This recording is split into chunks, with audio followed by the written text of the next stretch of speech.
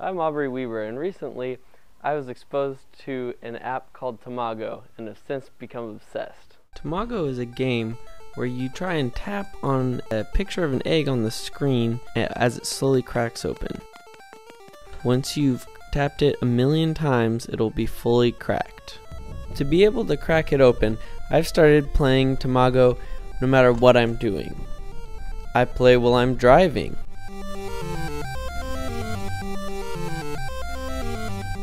After doing the math, I realized it would take me 55 hours to crack it open.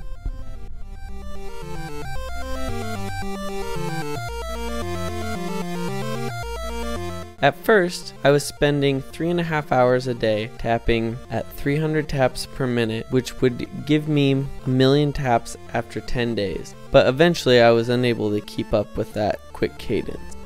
A lot of people think that this is ridiculous, but I won't be able to stop until I finish my goal and beat Tamago.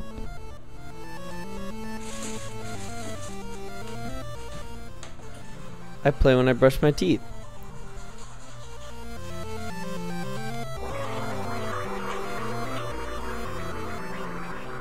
I've even started playing while practicing fly fishing.